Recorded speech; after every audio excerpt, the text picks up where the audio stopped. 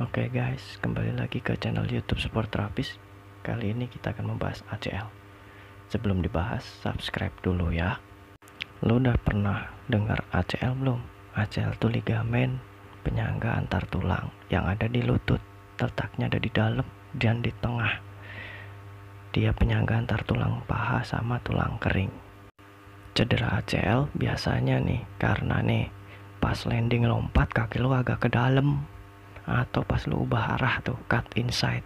Nah itu biasanya. Kalau bunyi peletuk atau ceklek lah krek. Nah terus lu bawa diperiksain hasilnya tuh. Lututnya goyang kayak macam di setelin dangdut itu.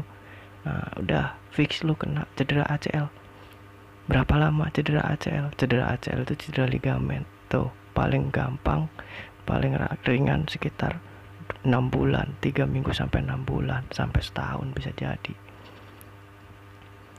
Nah ada dua cara. Biasanya ada konservatif dan operatif. Konservatif itu tanpa operasi.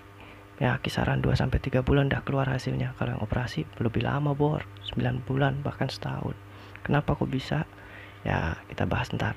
Nah kapan konservatif berhasil? Ya ketika lu jogging sama keseimbangan lu udah bagus nah itu berarti berhasil.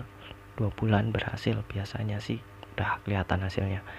Nah ini gua setelin video operasi biar lu paham kenapa prosesnya lama. Penyembuhannya lo lu kan udah lihat tuh ada dibor segala macem. Itulah yang bikin lama penyembuhannya. Nah kalau untuk yang operasi penjelasannya nanti di video berikutnya ya. Video ini cukup sampai di sini thank you udah nonton. Jangan lupa komentar dan like nya ya. Thank you guys. See you next time